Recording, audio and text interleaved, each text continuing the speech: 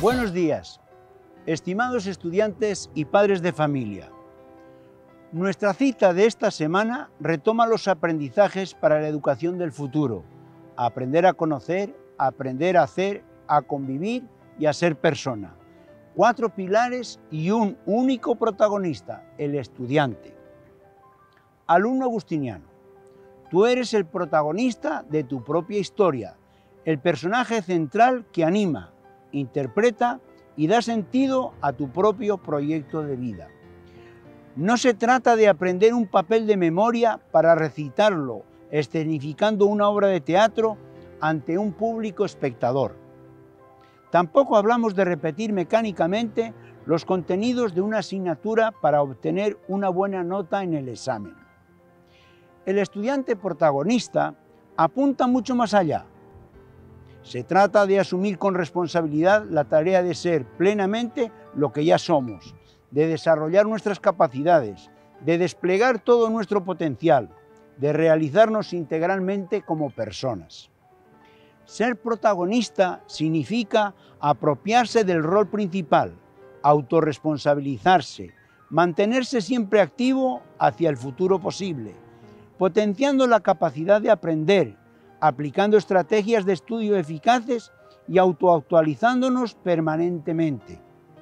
La sociedad del siglo XXI nos exige estar abiertos a las nuevas herramientas tecnológicas, recibir nuevos conocimientos, aprender diferentes lenguajes, desarrollar nuevas habilidades y competencias para enfrentar el mundo cambiante.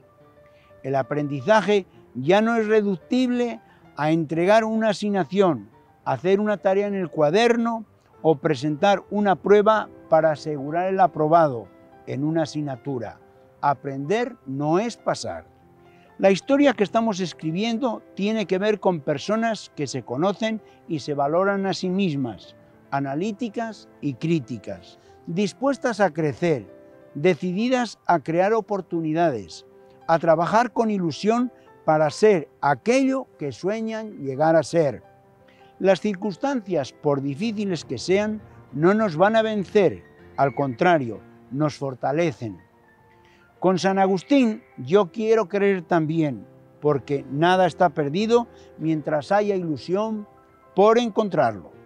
No hay excusa válida, ni la falta de gasolina o transporte, ni la intermitencia de la energía eléctrica, ni la escasa calidad de la conectividad a Internet, ni la sincronía que a veces tanto me incomoda, ni la dificultad de una asignatura.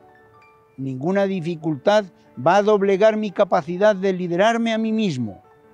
He decidido superarme y asumir el desafío de seguir construyendo futuro, de seguir siendo el amor que cambia el mundo. Feliz semana para todos, sigamos protagonizando nuestro aprendizaje.